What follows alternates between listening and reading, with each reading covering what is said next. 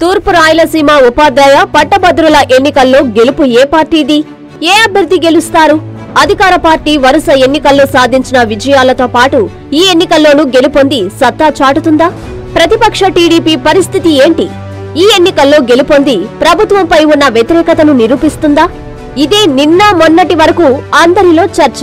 అందరూ అధికార పార్టీకి చెందిన ఇద్దరు అభ్యర్థులు గెలుస్తున్నారు. కావాలంటే రాసిపెట్టుకోండి అంటూ సవాల్ చేశారు. కొందరైతే పందాలకు పిలిచారు. కానీ ఓటర్ల తీర్పు ఎలా ఉంటుందో వారు ఎవరికి ఓటేశారో వారి ఆంతర్యం ఏంటో ఎవరికీ అంతుపట్టలేదు. కొందరైతే ఉపాధ్యాయ ఎన్నికల్లో పీడీఎఫ్ అభ్యర్థి తిరుగులేని మెజారిటీతో గెలుస్తున్నారు అన్నారు. ఇంకొందరైతే వైసీపీ పట్టభద్రుల ఎమ్మెల్సీ అభ్యర్థి పేర్నాటి శ్యాంప్రసాద్ రెడ్డి గెలుపు సునాయాసనమన్నారు.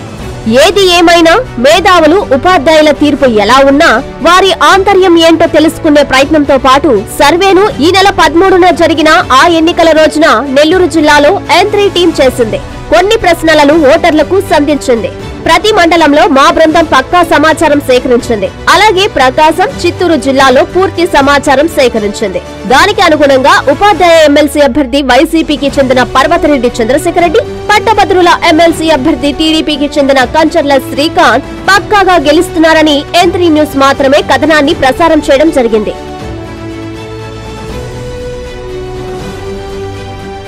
వీరిద్దరు గెలుపును ఏ శాటిలైట్ ఛానల్ గాని ఏ ఇతర ప్రధాన పత్రికలు గాని ఇతర ఛానళ్ళు గాని ప్రసారం చేయలేదు ప్రచురించలేదు కూడా. ఈ కథనాన్ని ప్రసారం చేసినప్పుడు వైసీపీ అభ్యర్థి పేర్నాటి శ్యాంప్రసాద్ కాకుండా కంచర్ల శ్రీకాంత్ ఎలా గెలుస్తాడు? అలాగే పీడీఎఫ్ అభ్యర్థి బాబురెడ్డి కాకుండా వైసీపీ అభ్యర్థి చంద్రశేఖర్ రెడ్డి గెలిచే అవకాశమే లేదని తప్పుడు వార్తలు ఎలా వేస్తారంటూ అనేక మంది ప్రశ్నించారు నిలదీశారు. ఆ కథనాన్ని డిలీట్ చేయమన్నారు. కానీ ఓటర్ల తీర్పునే ఎన్ న్యూస్ ప్రసారం చేయడం జరిగిందని తేల్చి చెప్పడం జరిగింది.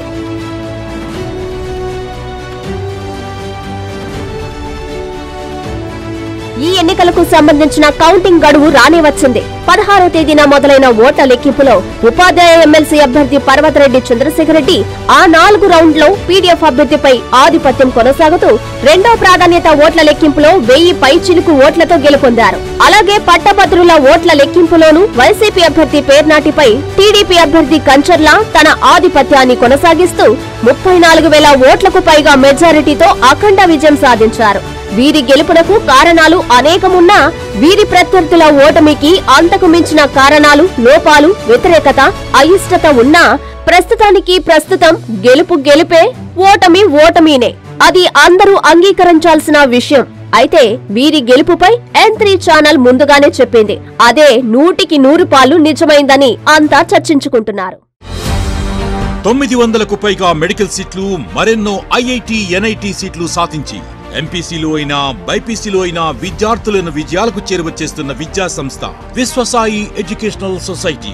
విద్యా బోధనలో అపార అనుభవం కలిగిన డైరెక్టర్స్. విద్యార్థుల క్రమశిక్షణకు వారి మానసిక దృఢత్వానికి ఎల్లప్పుడూ తోడుగా నిలిచే faculty. Concept based teaching easy learning genuine practical knowledge లాంటి ఆధునిక విద్యా విధానానికి తగిన విద్యా బోధనా విధానం పాటిస్తూ ఒత్తిడి లేని ఎగ్జామ్ ప్రిపరేషన్ ద్వారా విద్యార్థులకు స్ట్రెస్ ఫ్రీ ఎడ్యుకేషన్ అందిస్తూ వారి విజయాలను మరింత సులభతరంగా మారుస్తున్న విద్యా సంస్థ Viswasai educational society MBBS dental IIT NIT విద్యార్థి ఆశయం ఏదైనా.